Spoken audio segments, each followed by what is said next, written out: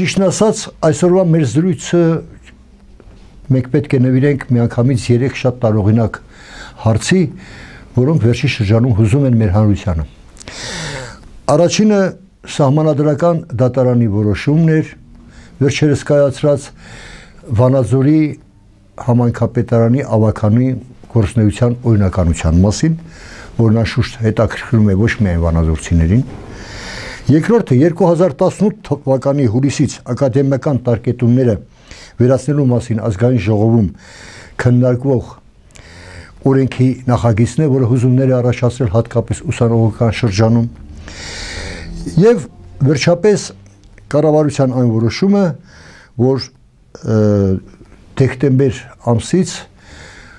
հենց սկզբից հանրապետության 13 տարեկան աղջիկները պետք է պատվաստվեն գարդասիլ կոչվող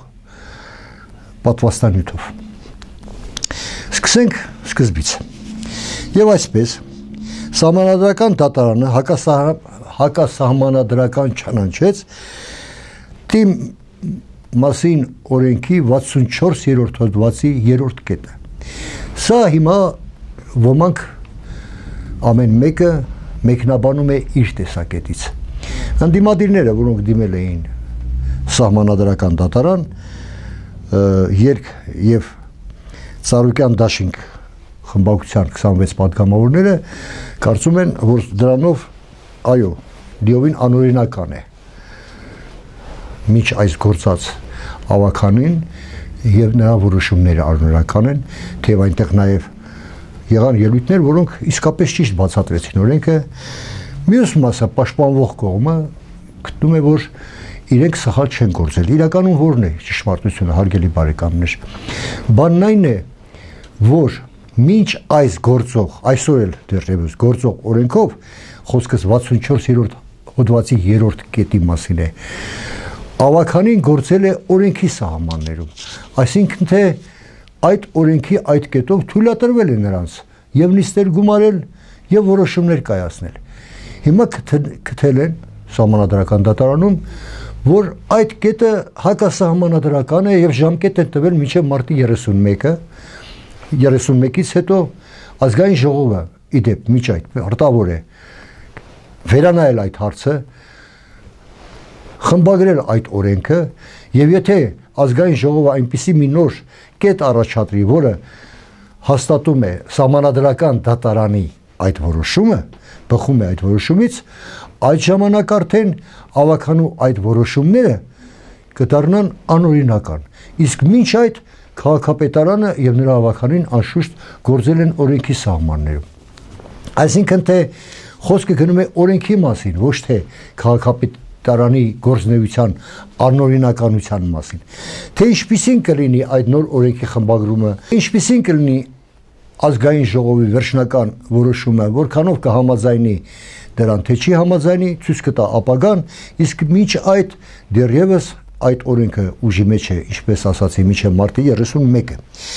սակայն այնուամենայնիվ բոլորիս ուզում է թե այնուամենայնիվ ինչ է լինելու հետո լավ ենթադրենք թե իրապես ազգային ժողովը որոշեց որ պետք է խմբագրվի այդ կետը խմբագրեց սահմանադրական դատարանի վճռի համեմատ այստեղ ինձ թվում է կա մի քանի տարբերակ առաջինն ասենք որ այն տարբերակն է որը պետք է ի վերջո ավականի լուծարվի, եթե շարունակի այդպես։ Եվ այն տարբերակը կա, որ կարող է նաև բոյկոտի ենթարկած քաղաքական ուժերից ոմանք գան այնուամենայնիվ շարունակեն աշխատել եւ ամեն ինչ հարթվում է անկախ նրանից օրենք ինչպիսի խմբագրում կունենա։ Գանք երկրորդից։ Եթե դատելուն ունենք այն հանգամանքով, որ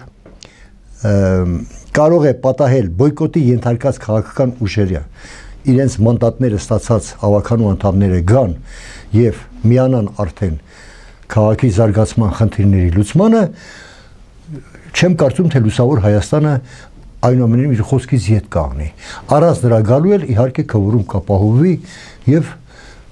բնականon հունով շարունակվի աշխատանքը։ չեմ կարող ասել թե թե լուսավոր Հայաստանում, թե մյուս ուժերում գրագետ մարդիկ չկան, ոչ։ Գրագետ հայրենասեր մարդիկ կան, բայց սա այն դեպքն է, որ ավելի շատ քաղաքական ինատի են գնացել, քաղաքական շահարկումների են գնում եւ դրանից աշուշտ դժում է գործը։ Մենք հիշենք, որ իդեպ ասեմ, որ լուսավոր Հայաստանը նաև վիճարկում էր տվյալ օրենքի 69-րդ հոդվածը, ասելով, որ պետք է կրճատեն ավականու գործնեությունը անօրինական ճանաչել եւ այլն մի բան որը համանadrական դատարանը իհարկե որոշեց որ այդպես լինել չի կարող երկրորդ տարբերակը ինչպես ասացի դա այն է որ որովե մեկը չի գալի, չի միանում ընդհանուր գործին, շարունակում են բոյկոտը եւ եթե խմբագրվի այդ օրենքը, այո, ավականին այլևս չի կարողանա շարունակել իր աշխատանքը։ Այսպես թե այնպես, մինչ այս քաղաքապետարանը եւ ավականին որևէ օրենք չեն խախտել առաջնորդվել են այն օրենքներով, որոնք այսօր էլ, ինչպես ասացիք, դարձյալ միջև մարտի 31-ը դեռևս ուժի մեջ է։ Իսկ անցել է ավելի քան 1 տարի բնականաբար ինքներս մեզ հարց ենք տալին եւ նաեւ ուզում ենք հարց տալ քաղաքապետարանի գործող ավականուն այսօր որ աշխատում են քաղաքապետարանի պատասխանատուներին թե ինչը փոխվեց այս 1 տարում կարողացավ արդյոք նոր թիմը այնպիսի աշխատանք, այնպիսի թափ ցույց տալ, որ Վանաձորի քաղաքի բնակիչները գող մնան եւ ասեն, այո, բացվել է մեր քաղաքի նոր էջը, այսինքն այն նշանաբանը որ կար, արդեն իրականացում է։ Ասֆալտապատվել է քաղաքը, բավականին բարեկարգվել է։ Սանիտարիան կարծես թե փոփոխություններ կրեց։ Սակայն երբ որ մենք խորապես ուսումնասիրում ենք, թե ինչպես կատարվեց այն ամենը, տեսնում ենք, որ դա քաղաքապետարանի շնորհքը չէր ասֆալտապատման գումարները հայթայթվեցին, միջնորդվեցին, աղերսվեցին, բերվեցին, իրականացվեցին առաջին հերթին մարսպետարանի եւ մարսպետի շնորհիվ։ Այնպես ինչպես այսօր մարս կենտրոն Վանաձորի մարսպետարանի շենքի ետնամասում գտնվող մոր եւ մանկան Բուրակը, որ այսօր արդեն իսկ զգացում ինչ գեղեցիկ տեսք ունի, դարձյալ մարսպետարանի շնորհիվ է։ Այսինքն մարսպետարանը բավականին մեծ գործ կատարեց քաղաքում բարեհարմար վիճակ ստեղծելու համար։ Սանիտարիան սկզբից կարծես թե լավ թափ ստացավ, իսկապես կարծես թե մաքրվում էր, բայց դարձյալ այսօր տեսնում ենք, որ այդ թափը չի պահպանվել։ Եվ Վանաձորյան նոր էջը կարծես թե շարունակում է հին ծրագրով, որովհետև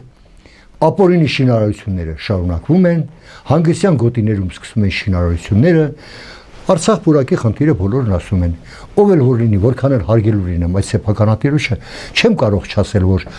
մանկական զբոսանքի կենտրոն կառուցող մարդը, եթե այդքան խորը կատլավան է փորում եւ ավտոկայանատեղի, որ 3-4 տարեկան երեխաները Mercedes-ի ղեկի նստած չեն գալու այդտեղ իրենց ավտոն կանացնել եւ դա շատ հեռահար նպատակներ ունի։ Դա չի ծառայելու մանկական հանգստի գոտու համար։ Եվ ընդհանրապես այո, մանուկներին պետք է հանգստյան գոտի զբաղվածության կենտրոն, բայց ոչ կանաչ տարածության հաշվին, բայց ոչ խաղապարակի հաշվին։ Այդ չեմ խոսում քաղաքի կենտրոնական մասերով, մասերում ծլող դարձյալ քոչվորական անճաշակ այն կառուցումների մասին, որ այսօր կա արդյոք դա չի մտահոգում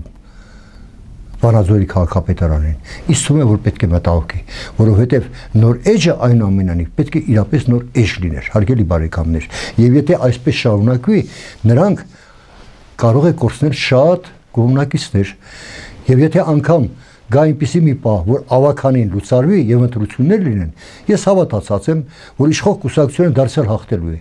ոչ թե ուժերիով, ոչ թե կաշառելով, ոչ թե բանով, այլ նախկին ընտրություններն էլ ցույց տվեցին, որ բոլոր անդիմադիրներն իրար հետ ամենայն դեպս ընտրողների ընդամենը 40%-ի ձայն էին հավաքել։ Հաղթելու է, բայց ով կլինի այն ժամանակ քաղաքապետը կամ միշտ թիմ կգա, դա պետք է մտածելու տեղի կտա եւ մեր քաղաքապետարանի պատասխանատու աշխատողները պետք է ավելի ստապ մտածեն։ Այդուամենանիվ իմ կարծիքով արդ չեն կարող ասել բավարար է եւ այսպես երջանիկ էֆորիայի մեջ մտածենք թե մենք ամեն ինչ արել ենք գանք երկրորդ հարցին հարգելի բարեկամներ Տարկետման հարցն է։ Երկրորդը, ինչպես ասացի, Վիգեն Սարգսյանը պաշտպանության նախարարը հայտարարեց, որ 2018 թվականից ակադեմիական տարկետումներ չլինեն։ Լավ է դա թե վատ։ Ուսանողների կարծիքով դրանով խփում ենք գիտության զարգացմանը։ Ես հասկանում եմ բոլոր ընդդիմադիր հոգեբանություն ունեցողներին, հասկանում եմ ուսանողներին,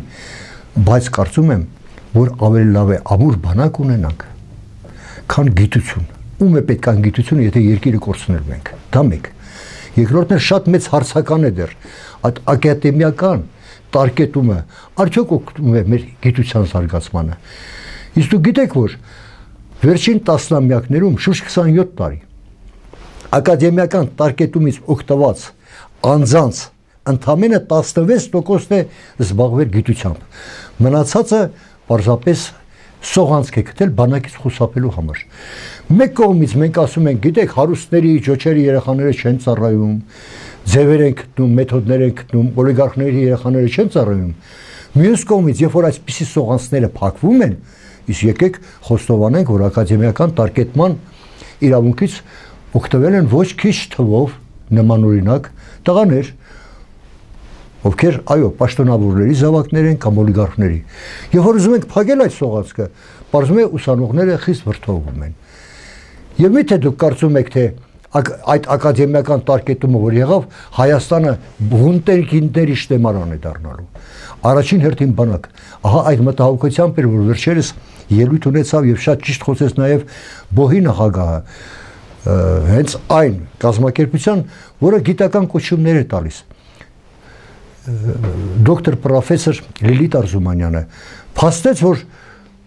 գիտությունը այնուամենայնիվ դրանից շատ չի օգտվում։ Այդ չեմ խոսում գրող Ռուզան Ասատրյանի մասին, ով նույնպես կոչ արեց։ Այդուամենայնիվ ինձ թվում է, այո, պետք է լինում են իսկապես խիստ տաղանդավոր շնորհված բնություն կողմից օժտված երիտասարդներ կլինեն օրենքով, երբ որ հաստատվի որոշ արտոնություններ, որոնք հատկապես պետք է գտնել այդ շնորհալիներին, ոչ թե դադարեցնել այնպիսի մի վիճակ, որ այդ սողանցքից օգտվեն նաև նրանք, ովքեր ազդեցության ոլորտներ ունեն, ովքեր իշխանություն ունեն։ Այնպես որ ինձ թվում է, որ յուրաքանչյուր նորմալ մարդ առաջին հերթին պետք է մտածի մեր երկրի պաշտպանության մասին։ Մանավանդ չմոռանանք, ի վերջո մենք պատերազմի մեջ գտնվող ժողովուրդ ենք։ Հայրենական պատերազմից հետո ԽՍՀՄ-ում շատ-շատերը դա լավ գիտեն Ծառայությունը 3 տարի էր, իսկ ծովային զորամասերում ծառայողներինը 4 տարի։ Քանի որ մարդ չկար ծառայող, պատերազմից հետո սերունդը պակասել էր։ Այսօր գաղթականություն, արտագաղթի, սոցիալական վիճակի եւ այլնի պատճառով այո զորակոչային տարիքի տղաները պակասում են կամ պետք է ուրեմն մենք վերցնենք ու դարձնենք ծառայությունը 3 տարի եւ կամ պետք է ինչ-որ ձևեր գտնել որպեսզի համալրել բանակը հայրենիքի պաշտպանությունը առաջին հերթին գիտնականները ծնվում են, կծնվեն, միշտ էլ կլինեն եւ իսկական օժտված մարդը միշտ ժամանակ կգտնի։ Երկու տարի նրան չի խանգարի։ Ես այդ կարծիքին եմ։ Անկախ այն բանից, ոմանք կհակաճառենից, թե ոչ։ Վերջապես երրորդ հարցի մասին։ Ես հասկանում եմ նման կարևոր հարցերի մասին այսպես հապշտապ խոսալը։ Այնքան էլ շնորհակալ բան չէ, բայց հարգելի բարեկամներ, ի վերջո հարցեր կան, որոնք ես բարձրաձայնում եմ նաև ինչու՞ չէ, թողնելով վերջին այսպես ասեմ, դատավճիռը ձեզ, որպեսի մտածեք այդ մասին, երբ գտնենք միասին։ Նույնիսկ իմ ասածները պետք չի անznագրային ուշ տալ թե տեսակ ասվեց ուրեմն այդպես է լինելու ոչ եկեք միասին մտածենք որոշել են որ այդ պատվաստանյութով գարդասիլ կոչված պատվաստանյութով պատվաստեն 13 տարեկան աղջիկներին։ Լավ է թե վատ։ Ոչ մի զարգացած երկիր այդ պատվաստանյութը չի օգտագործում։ Եվ ծիծաղելի է ասել թե պատվաստում ենք այնպիսի նյութով, որի արդյունքը պետք է 30 տարի հետո զգացվի։ Իբրև թե կանանց մոտ քաղցկեղի առաջացման կանխում է։ Բոլորին վերջերս Հայաստանում էր Ռուսաստանի Դաշնության առողջապահության նախարար Վերոնիկա Սկվարցովան, որին լրագրողները հարցրել են այդ մասին, եւ նա շատ པարս ու հակիրճ ասել էր, որ իրենց մոտ այդպիսի բան չկա, իսկ գիտնականները որոնք փորձել են այդ Գարդասիլ կոչված պատվաստանյութով հետաքրքրել, ուսումնասիրել, բարձվել է, որ նա ամենևին էլ այդպիսի 100%-անոց արդյունք չի տալիս եւ այն այնուամենայնիվ չի էլ կանխում քաղցկեղը։ Կառավարությունը որոշել է ինչ ամեն անգամ մենք դեմ ենք առնում, այսպես ասած, պարտադիր կամավոր իրավիճակի։ Կգնանք մենք այն բանի, որ մեր երեխաները արդյոք պատվաստվեն։ Չիմանալու թե ինչու համար։ Երբ որ դա